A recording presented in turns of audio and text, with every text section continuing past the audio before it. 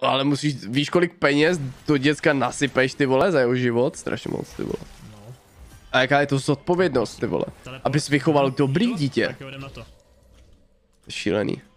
Nedokážu si to představit, kámo. Pěkný stun. Ty vole. Jak dali surrender ty vole hned. Tak, můžu. Výborně. Jak legenda čumha.